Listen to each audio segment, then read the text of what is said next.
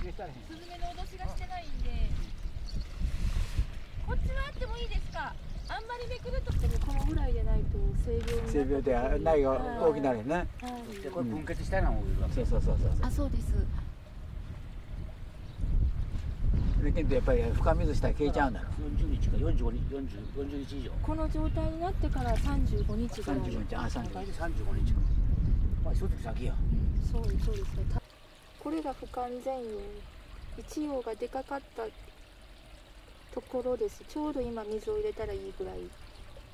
で今日水を入れてもらってます。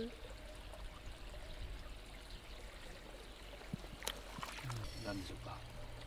これはあの今年営農組合で取り組まれる、えー常時淡水のエリアで作られる無農薬無化学肥料のあの育苗の方法です。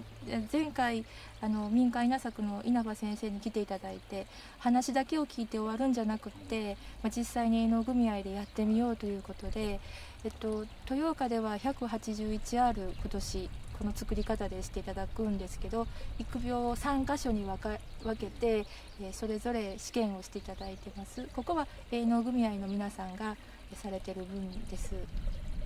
あの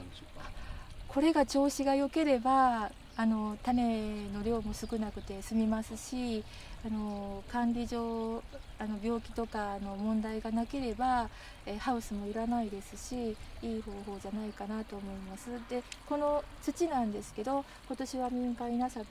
の方から肥料をあの購入してえ試験をしていただいてるんですけど他にあの山土を使わない、えーあの焼いた土とかいろんなバイドであちこちで試験をしていただいてまして、まあ、最終的にあの一番いいあの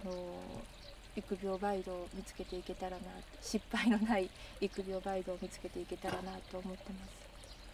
もちろん